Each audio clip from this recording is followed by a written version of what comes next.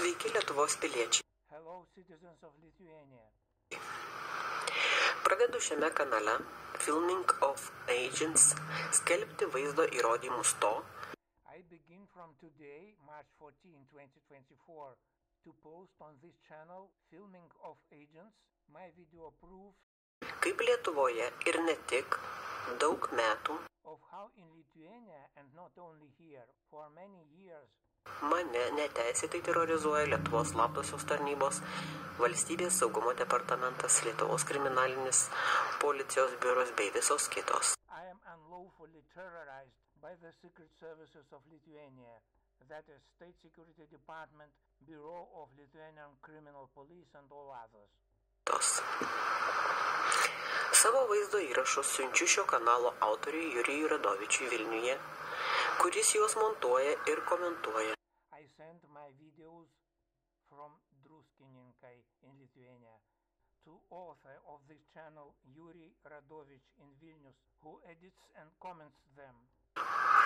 Visi šio kanalo vaizdai, įrašai demaskuoja ypatingai slaptų tarnybų, ypač Lietuvos, slaptą antikonstitucinę veiklą naikinančią žmogaus teises. All these channel videos mostly expose covert anti-constitutional activity of secret services, especially Lithuanian, destroying human rights. Mokiausi Vilniaus Gedemino technikos universitete ir įgyjau ekonomisto inžinieriaus kvalifikaciją.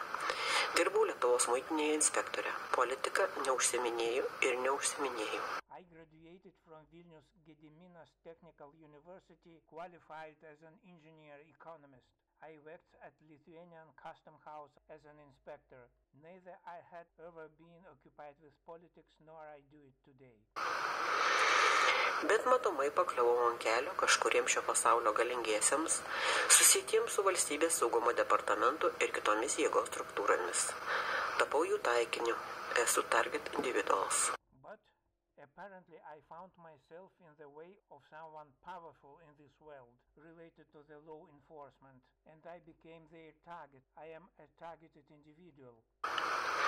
Mane fiziškai ir psichologiškai kankina 24 valandas per parą, naudodami psichotroninį ginklą. They torture me physically and psychologically using psychotronic weapons. Tai yra mikrobangas, infrabangas, ultrabangas įvairiuose diapazonuose, radio dažnio ginklą, ypatingai aukšto ir ypatingai žemo dažnio elektromagnetinę spinduliuotę. Radio frequency weapons, electromagnetic radiation of particularly high and particularly low frequencies. Radiacija įvairių rušių - cheminį, biologinį, akustinį ginklą, technologiją V2K. Radiation, chemical, biological, acoustical weapons, voice to skull technologies. lazerinę spinduliuotę, infraraudonuosius spindulius. Šaudo įvairiais energetiniais impulsais, sukeldami skausmą, žaizdas, galūnių tirpimą, regėjimo praradimą. Laser infrared shoot by various energetic impulses, causing pain, ulcers, numbness of the limbs, loss of vision. Tai yra, nuo energetinių šūvių atšakinėja tinklainė. Taip pat Havano sindromo. Tai yra klausos praradimas, stiprius galvos skausmus, atminties sutrikimus, galvos vaigimą, smegenų sužalojimus. Namely, energetic shots cause retinal detachment, Habana syndrome, that is, hearing loss, severe headache, memory impairments. Cheminės atakas vykdo namuose, gatvėje, automobilyje ir kitur. Patalpa ir gyvenamasis būstas, kur be būčiau stebimas prietaisų skenuojančių per bet kokias sienas. Chemical attacks are launched at home, on the streets, in the car, everywhere. Premises and apartments, wherever I may be, Galimai man paskirtas nuolatinis atviras agentūrinis stebėjimas.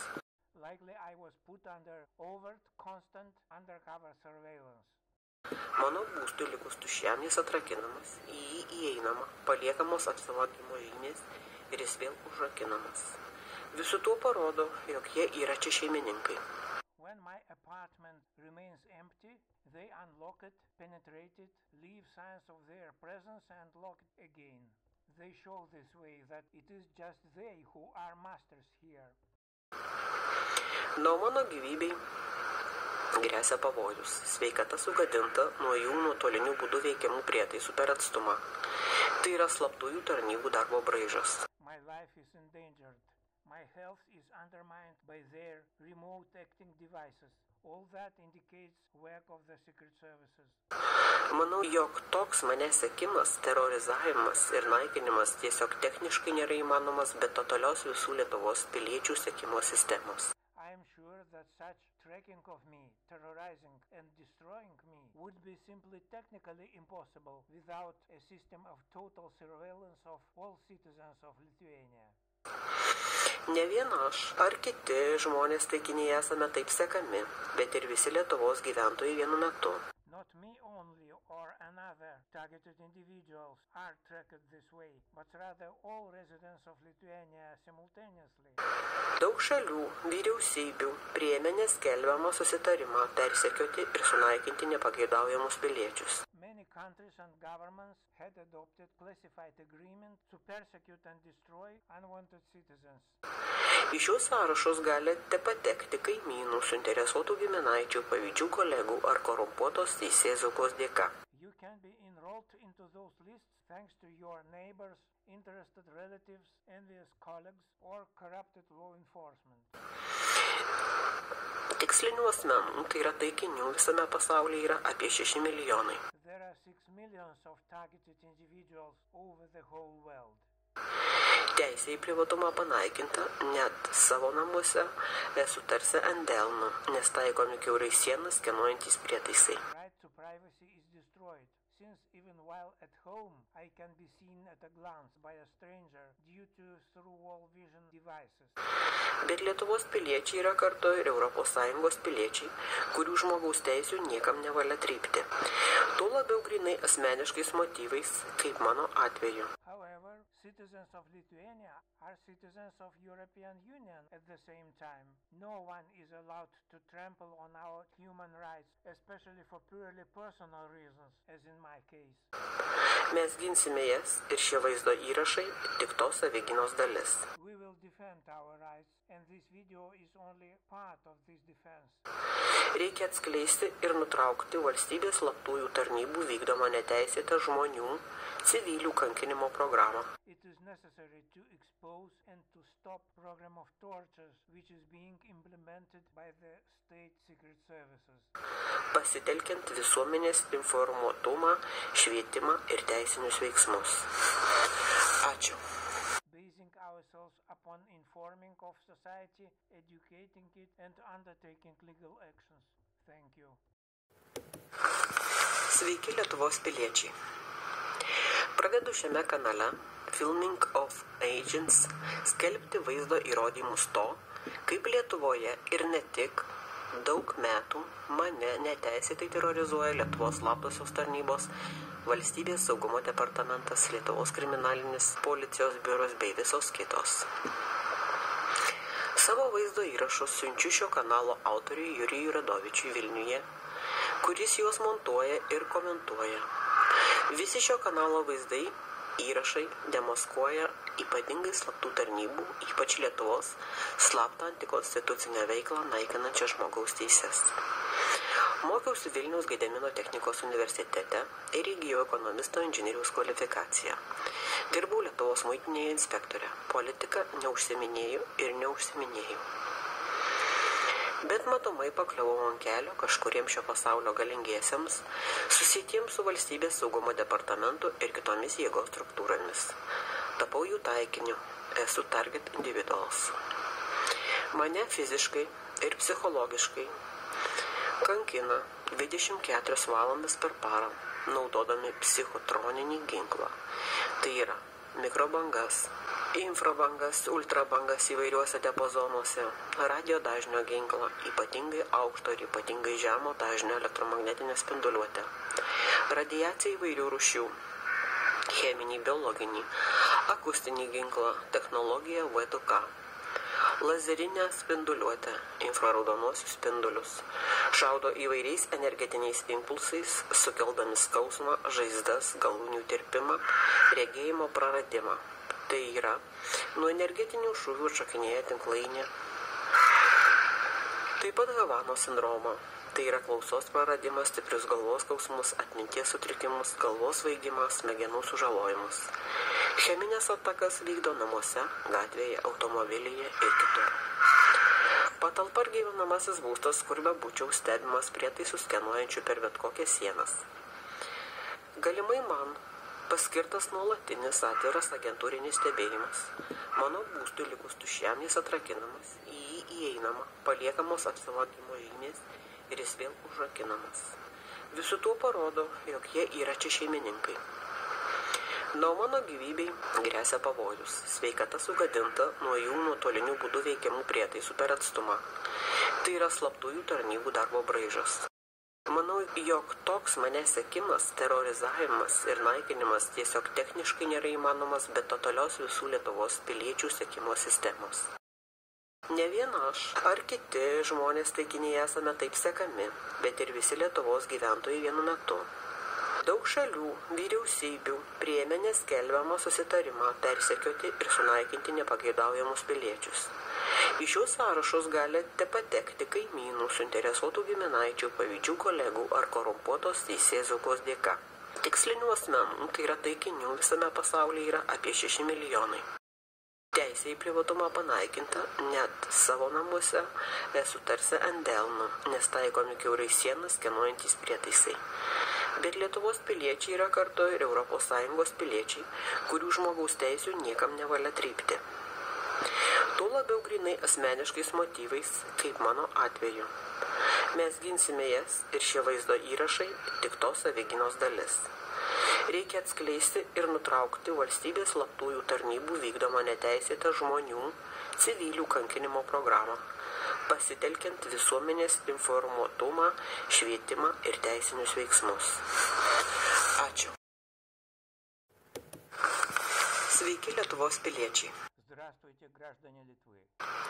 Pradedu šiame kanale Filming of Agents skelbti vaizdo įrodymus to, Начинаю на этом канале Filming of Agents публиковать видео доказательства того, kaip Lietuvoje ir ne tik daug metų mane neteisėtai terrorizuoja Lietuvos slaptosios tarnybos, valstybės saugumo departamentas, Lietuvos kriminalinis policijos biuros bei visos kitos. как в Литве и не только много лет меня незаконно терроризируют литовские секретные службы, Департамент государственной безопасности Литовской Республики, Бюро Литовской криминальной полиции и все другие. Savo vaizdo įrašus siunčiu šio kanalo autoriui Jurijui Radovičiui Vilniuje, kuris juos montuoja ir komentuoja. Свои видеозаписи я посылаю автору этого канала Юрию Радовичу в Вильнюсе, который их монтирует и комментирует. Visi šio kanalo vaizdai, įrašai demaskuoja ypatingai slaptų tarnybų, ypač Lietuvos, slaptą antikonstitucinę veiklą naikinančią žmogaus teises. Все видеозаписи на этом канале по большей части разоблачают тайную антиконституционную деятельность секретных служб, особенно литовских, уничтожающую права человека. Mokiausi Vilniaus Gedemino technikos universitete ir įgyjau ekonomisto inžinieriaus kvalifikaciją. Dirbau Lietuvos muitinėje inspektorė. Politika neužsiminėjau ir neužsiminėjau. Я училась в Вильнюсском техническом университете имени Гедеминоса и приобрела там квалификацию инженера-экономиста. Работала инспектором на литовской таможне. Политикой не занималась и не занимаюсь. Bet matomai pakliuvau ant kelio kažkuriems šio pasaulio galingiesiems, susitiems su valstybės saugumo departamentu ir kitomis jėgos struktūromis. Tapau jų taikiniu. Esu target individuals. Но, видимо, я оказалась на пути у каких-то сильных мира сего, связанных с Департаментом государственной безопасности и другими силовыми структурами, и стала их мишенью. Я targeted individual, человек-мишень. Заметка переводчика. В России термин targeted individual неясно переводится как целевой человек. Надо переводить человек-мишень. Mane fiziškai ir psichologiškai kankina 24 valandas per parą, naudodami psichotroninį ginklą. Меня физически и психически мучают часа в сутки, применяя психотронное оружие. Tai yra mikrobangas, infrabangas, ultrabangas įvairiuose diapazonuose, radio dažnio ginklą, ypatingai aukšto ir ypatingai žemo dažnio elektromagnetinę spinduliuotę, radiaciją įvairių rušių, разных диапазонах, радиочастотное оружие, особо высокочастотное и низкочастотное электромагнитное излучение, разного рода излучения. cheminį, biologinį, akustinį ginklą, technologiją V2K, lazerinę spinduliuotę, infraraudonosius spindulius. Химическое, биологическое, акустическое оружие, технологию голос в мозг, лазерные лучи, инфракрасное излучение. Šaudo įvairiais energetiniais impulsais, sukeldami skausmą, žaizdas, galūnių tirpimą, regėjimo praradimą. Выстреливают различными энергетическими импульсами, вызывая боль, поранения, не менее конечностей, теряние зрения. Tai yra, nuo energetinių šūvių atšakinėja tinklainė. Taip pat Havano sindroma. Tai yra klausos praradimas, stiprius galvos skausmus, atminties sutrikimus, galvos vaigimą, smegenų sužalojimus. Выстрелов отслаивается сетчатка глаза, вызывают гаванский синдром, то есть утрату зрения, сильные головные боли, нарушение памяти, головокружение, поражение мозга. Cheminės atakas vykdo namuose, gatvėje, automobilyje ir kitur. Patalpa ar gyvenamasis būstas, kur be būčiau stebimas prietaisų skenuojančių per bet kokias sienas. Химические атаки производятся в доме, на улице, в автомобиле, помещения, квартира, где бы я ни была, просматриваются сквозь стены сканирующими приборами. Galimai man paskirtas nuolatinis atviras agentūrinis stebėjimas. По-видимому, мне назначено постоянное открытое агентурное наблюдение. Mano būstui likus tuščiam jis atrakinamas, į jį įeinama, paliekamos apsilankimo žymės ir jis vėl užrakinamas. Visų tuo parodo, jog jie yra čia šeimininkai. Когда моя квартира остается пуста, ее отпирают, в нее входят, оставляют знаки присутствия и опять запирают. Этим они демонстрируют, что именно они тут хозяева. Na, o mano gyvybei grėsia pavojus. Sveikata sugadinta nuo jų nuotolinių būdų veikiamų prietaisų per atstumą. Tai yra slaptųjų tarnybų darbo braižas. Моей жизни угрожает опасность. Здоровье подорвано их дистанционно действующими приборами. Это почерк работы секретных служб. Manau, jog toks manęs sekimas, terrorizavimas ir naikinimas tiesiog techniškai nėra įmanomas be totalios visų Lietuvos piliečių sekimo sistemos. Думаю, что такое слежение за мной, терроризирование и уничтожение технически было бы невозможно без системы тотального наблюдения за всеми гражданами Литвы. Ne vien aš ar kiti žmonės taikiniai esame taip sekami, bet ir visi Lietuvos gyventojai vienu metu. Не только за мной или другими людьми-мишенями так следят, но за всеми жителями Литвы одновременно. Daug šalių, vyriausybių priėmė neskelbiamą susitarimą persekioti ir sunaikinti nepageidaujamus piliečius. Много стран, правительств приняли негласное соглашение преследовать и уничтожать нежелательных граждан. Į šios sąrašus gali te patekti kaimynų, suinteresuotų giminaičių, pavydžių kolegų ar korumpuotos teisėsaugos dėka.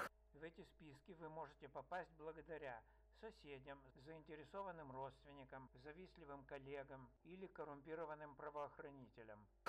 Tikslinių asmenų, tai yra taikinių visame pasaulyje yra apie 6 milijonai. Всего людей-мишеней по всему миру насчитывается порядка 6 миллионов. Teisė į privatumą panaikinta, net savo namuose esu tarsi ant delno, nes taikomi kiaurai sienas skenuojantis prietaisai. Право на неприкосновенность частной жизни уничтожено, потому что даже в собственной квартире я нахожусь как на ладони, так как применяются сквозь стены сканирующие приборы. Lietuvos piliečiai yra kartu ir ES piliečiai, kurių žmogaus teisų niekam nevalia trypti. Tuo labiau grinai asmeniškais motyvais, kaip mano atveju. Но граждане Литвы являются одновременно и гражданами Европейского Союза, чьи права человека никому не разрешается попирать, тем более из чисто личных мотивов, как в моем случае. Mes ginsime jas ir šie vaizdo įrašai tik tos savyginos dalis. Мы будем их защищать, и эти видео – это только часть такой самозащиты. Reikia atskleisti ir nutraukti valstybės slaptųjų tarnybų vykdomą neteisėtą žmonių, civilių kankinimo программу. Надо раскрыть и прекратить, я бы сказала, программу пыток, проводимую государственными секретными службами. Pasitelkiant visuomenės informuotumą, švietimą ir teisinius veiksmus. Ačiū. Опираться при этом надо на информированность общества, его просвещение и на правовые действия. Спасибо. Примечание переводчика. Записано в Друскиненкой в Южной Литве 14 марта 2024 года. It is admitted that the drones can be an emitters of the directed electromagnetic impulses. Here is something like that over the United States somewhere. Spėjama, kad dronai gali būti nukreiptųjų elektromagnetinių impulsų siūstuvais. Štai vienas kažkur virš Junktinių valstijų. Допускается, что дроны могут быть источниками направленных электромагнитных импульсов. Это дрон где-то над Америкой. Twinkle, twinkle, little star. Twinkle, twinkle. My star got pretty lights around it. Look at my little star. Ooh. Twinkle, twinkle. Twinkle, twinkle. Twinkle, twinkle, little star. You. Roger that.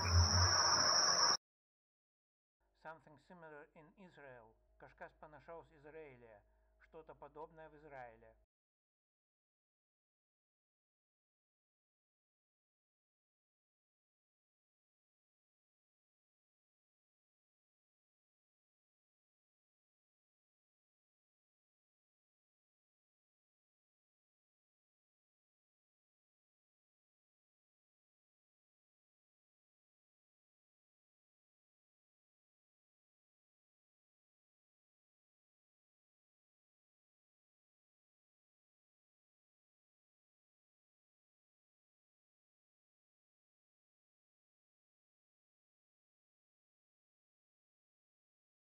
And here is what Irma Shmulkštite is observing almost every evening in Druskininkai, South Lithuania. O štai ką Irma Šmulkštytė vos ne kiekvieną vakarą stebi virš druskininkų. А это то, что Ирма Шмулькштите чуть не каждый вечер наблюдает над городком Друскиненкой в Южной Литве. She says that in reality its color was reddish and it was pulsing. Ji sakė, kad iš tikrųjų jo spalва buvo раусва ir jis pulsavo. Она говорит, что в реальности его цвет был красноватый, и он пульсировал. The two were visible at the moment. Tuo metu buvo du. В тот момент было их два. At least several drones, up to ten, are visible over Druskininkai every evening. Nemažiau kaip keli bepiločiai dronai, kartais iki dešimties, yra matomi kas vakarą virš druskininkų. Как минимум несколько дронов, вплоть до десяти, бывают видны над Друскиненкой каждый вечер. March 3, 2024, Druskonis Lake is on the left. 2024 metų kovo 3, kairėje Druskonio ežeras. 3 марта 2024 года, слева озеро Друсконис.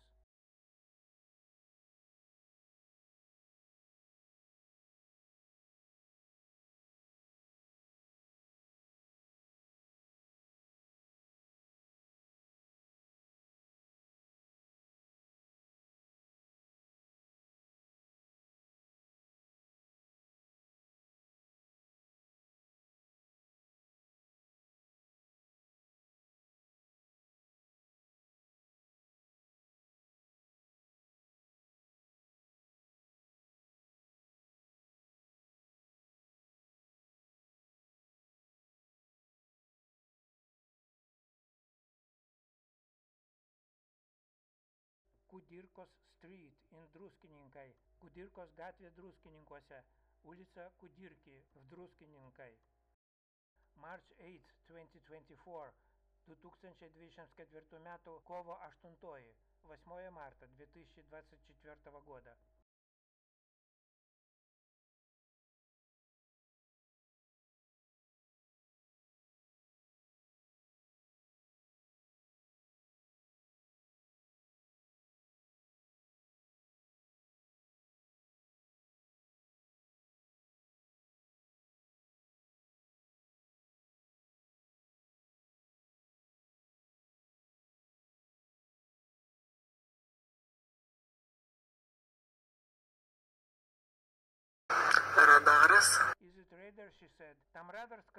Ir dar vienas. One more. Еще один.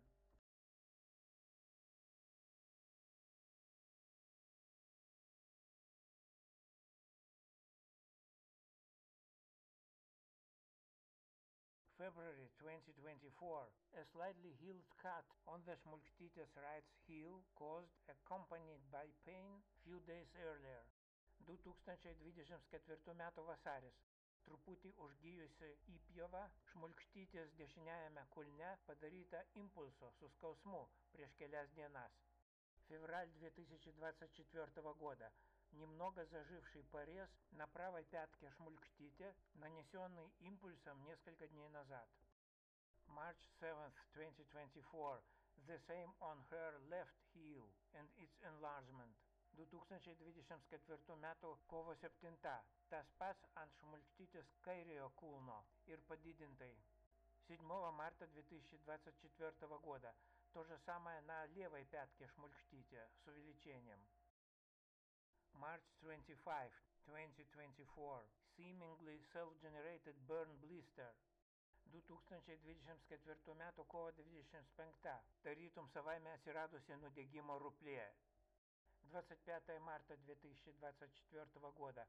Как бы сам собой образовавшийся ожоговый волдырь. Schmulktites body is so electrified constantly that she stops the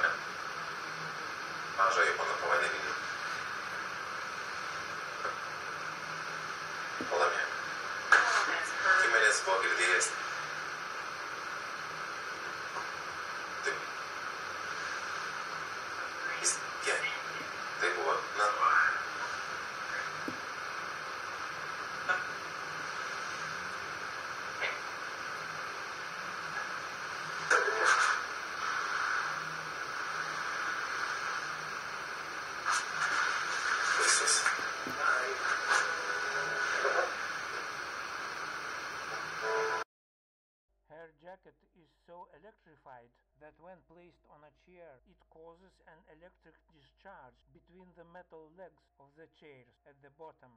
Druskininkai City Library, March 19th, 2024. Jos striukė yra taip pat tiek įelektrinta, kad padėta ant kėdės jį sukelia elektrinę iškrovą tarp kėdžių metalinių kojelių apačioje. Druskininkų savivaldybės viešoji библиотека 2004 м. kovo 19. Ее куртка тоже так наэлектризована, что положенная на стул, она вызывает электрические разряды между металлическими ножками стульев внизу у пола. 19 марта 2024 года. Публичная библиотека Друскинингского самоуправления. Strange clicking noises are often heard around Šmulkštytė, both at home and in her car. Keisti spraktelėjimai neretai pasigirsta aplink Šmulkštytę tiek namuose, tiek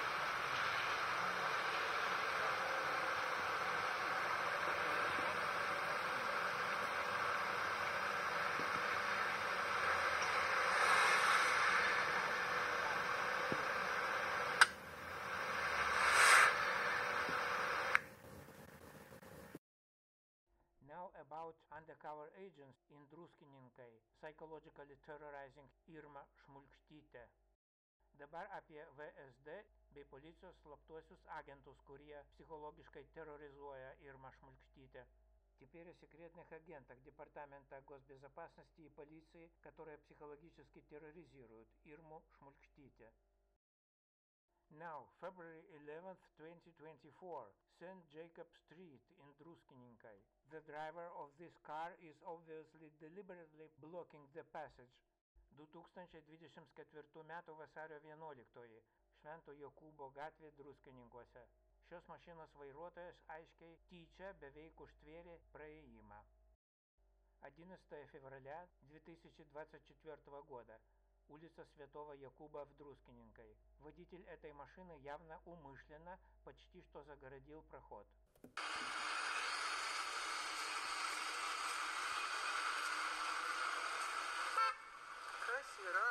kas yra? What's the matter? she asked. В чем дело? Она спросила. He showed fuck her. Jis parodė jai vidurinį pirštą. Он показал ей средний палец.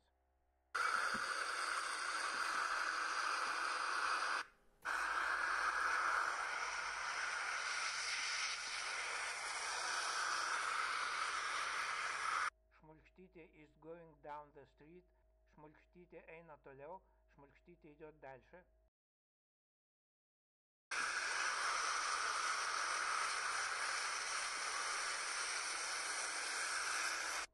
The same car is passing by her. Та пати машина ją pavijo. Та же самая машина ее догнала. And turned left. Ir pasuko kairien. И повернула налево. So the driver had been waiting for Šmulkštytę intentionally. Taigi, vairuotojas laukė Šmulkštytės sąmoningai. Следовательно, водитель ждал Шмульштите намеренно. February 13, 2024, 2024 metų vasario 13, 13 февраля 2024 года. It is only several minutes ago that this girl was awaiting for Shmulchtite who left the library, and here Shmulchtite sees her again, hiding her face under umbrella. Tik prieš kelias minutės ši mergina akivaizdžiai laukia šmulkštytės išeinant iš библиотекos ir štai šmulkštytė regi ją vėl, slepiančią вейда по скетчу. Только несколько минут назад эта девушка явно ждала Шмулькштите, выходящую из библиотеки. И вот теперь Шмулькштите видит ее снова, прячущую лицо за зонтиком.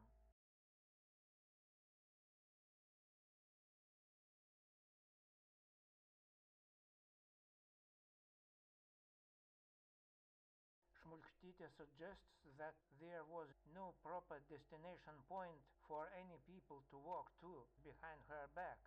In other words, they were sent to simply meet her and then turn back as well. Šmulkštytė tikina, kad tom trim moterim nėra kur tiesiog eiti už jos nugaros. Ten nesa jokių vertų vietų.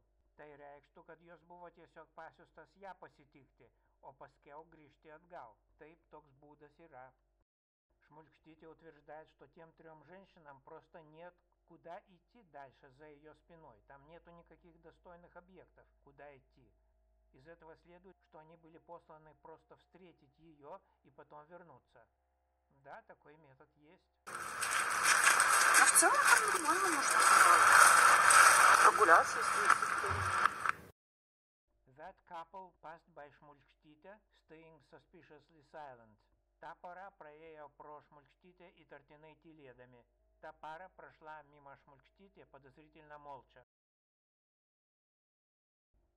That man is going without gloves and bag. It means that he likely left some his premise for only short. Tas vyras eina be pirštinių ir be tašės. Tai reikštų, kad jisai yra palikęs kažkokias patalpas tik trumpam. Тот мужчина идет без перчаток и без сумки. Это, скорее всего, значит, что он выжил из какого-то помещения ненадолго. This episode will be 10 minutes long. Šis epizodas bus ilgas 10 minučių. Этот эпизод будет длинный 10 минут. March 16, 2024. 2024 metų kovo 16. 16 marta 2024 года. Having just left the library, Shmulchtite noticed a suspicious woman on the opposite side, chatting on the phone for already some time. Išėjusi iš bibliotekos, Šmulkštytė pastebėjo kitoje pusėje įtartiną moterį, jau kurį laiką besikalbančią телефону. Выйдя только что из библиотеки, Шмулькштите заметила на противоположной стороне подозрительную женщину, уже некоторое время разговаривающую по телефону.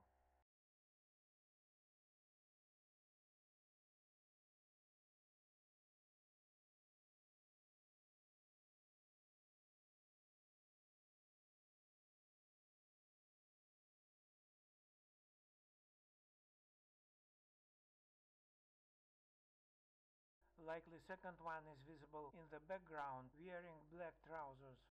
Atrodo ir antroji yra matoma, трупути толя уща с уедом кельнем. Кажется, и вторая видна, чуть дальше этой, в черных брюках.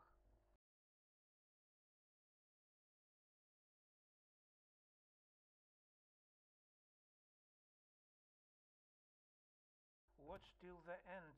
It is needed to estimate if this kind of behavior is natural. Žiūrėkite iki galo, to reikia norint įvertinti, ar toks elgesys yra натуралус. Смотрите до конца, это важно при оценке того, естественно ли такое поведение.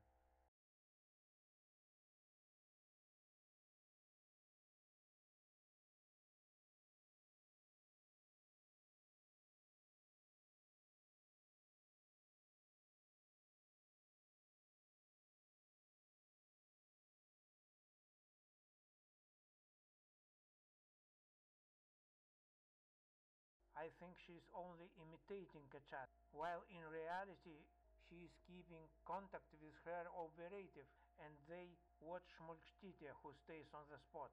Manau, kad ji tik tai imituoja pokalbį, o iš tikrųjų jinai yra kontakte su savo operatyvininku ir jie stebi, kur Šmulkštytė pasuks, nes kol kas jis stovi vietoje.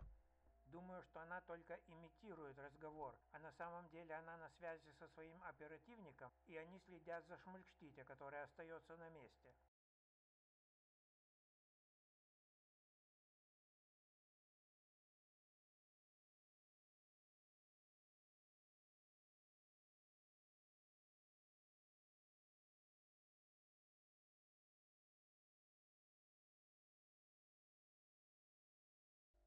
The second one is in her place, antroji savo vietoje, и вторая на своем месте.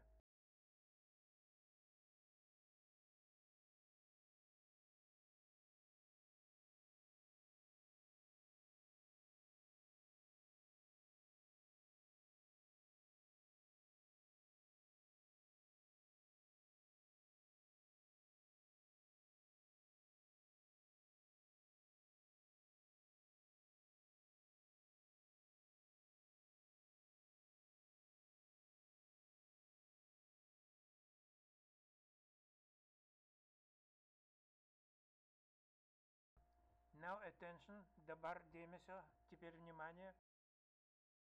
Glance in Šmulkštytės direction with her peripheral vision. Диrstelėjimas šoninė rega link Šmulkštytės. Взгляд боковым зрением в направлении Шмулькштите. Let's watch once again. Пожурим дар карта. Посмотрим еще раз. Only instance. Акимирксню. Одно мгновение.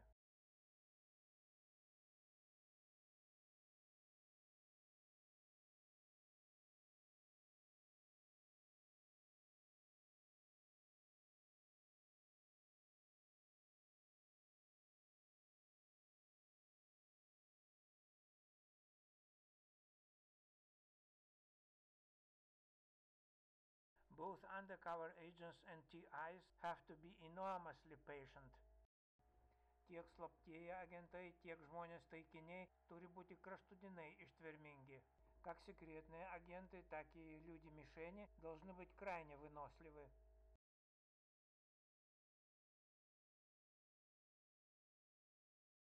The same, та пати, та же самая.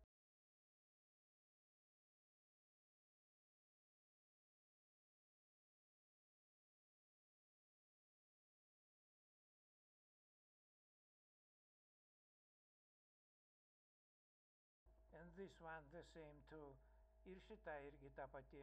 И это тоже та же самая.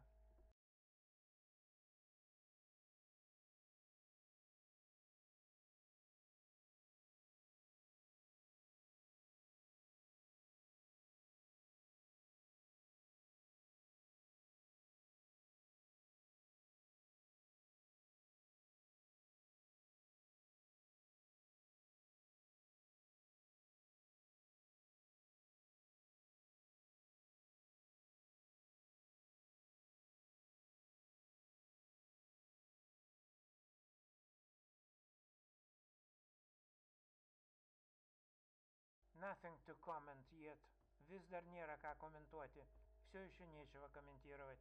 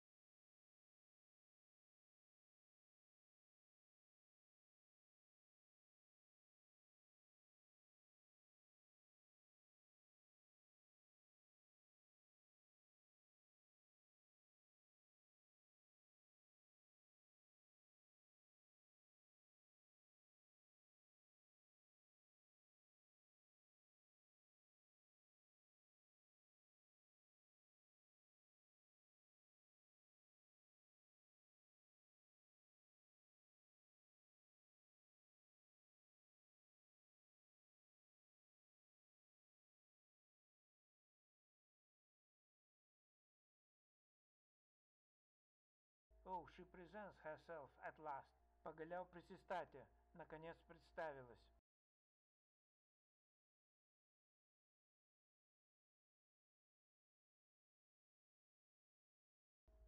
Smile, sheep sneeze, улыбка. And going back, grįžimas, и возвращение.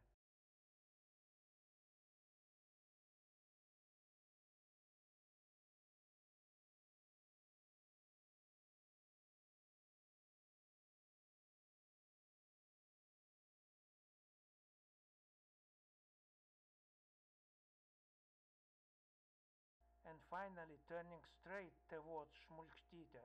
Ir pagaliau posūkis tiesiog į Šmulkštytę. И, наконец, поворот прямо на Шмулькштите.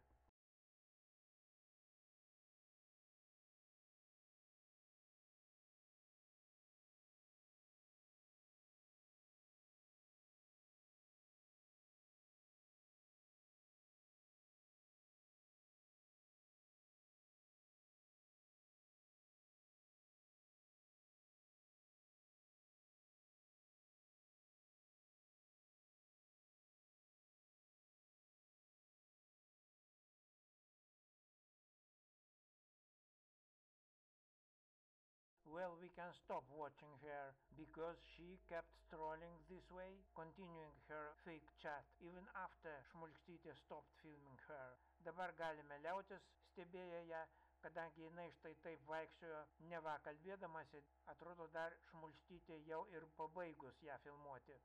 Теперь мы можем прекратить следить за ней, потому что она вот так расхаживала, имитируя разговор, кажется, еще и после того, как Шмулькстите прекратила ее снимать. And only two events more. Tik tai du įvykiai. И еще только два события. That man coming from the left has just crossed Shmulkstite's path from the right to left. Then he stopped far on the left and is now returning back. Šitas vyras ateinantis iš kairės ką tik buvo kirtęs Šmulkštytės kelią iš dešinės kairėn. Po то толи kairėje сустоя, обсисука и dabar гришта. Этот мужчина, который приближается слева, только что пересек Шмульштите путь справа налево. Там дальше слева он остановился, повернулся и теперь возвращается. March 17, 2024, 2024 metų kovo 17, 17 марта 2024 года.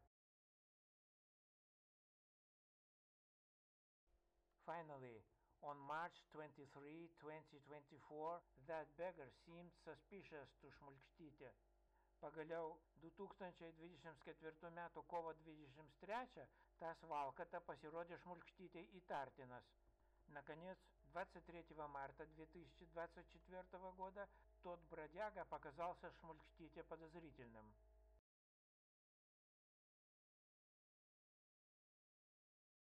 So when she saw him again that day, she stopped her car briefly near the bus stop. Todėl pamačiusi jį antrą sykį tą pačią dieną, ji trumpам sustabdė машина шаля автобусу стотялес. Поэтому, увидев его во второй раз в тот день, она ненадолго остановила машину около автобусной остановки. At the same time, it turned out that a girl agent was waiting for her at a bus stop with a smartphone in her hand. Kartu paaiškėjo, jog jos pravažiavimo čia laukia mergina агентė автобусу стотяле с смартфоном ранкою. Заодно выяснилось, что ее проезда тут ожидала девушка-агент на автобусной остановке со смартфоном в руке.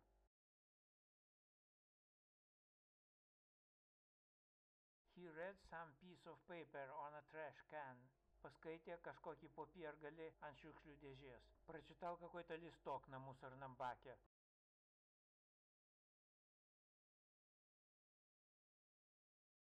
Showed a contemptuous look. Продемонстрировал некинантį žvilgsnį. Продемонстрировал презрительный взгляд. Шмулькштите considers that his clothes are too clean, his hands too white, and his bag too expensive to be a beggar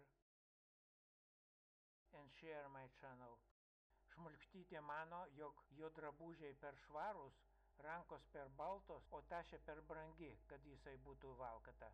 Ačiū, kad žiūrėjote, dalinkitесь mano каналу. По мнению Шмульхтити, его одежда слишком чистая, руки слишком белые, а сумка слишком дорогая, чтобы он был бродягой. Спасибо за просмотр, делитесь моим каналом.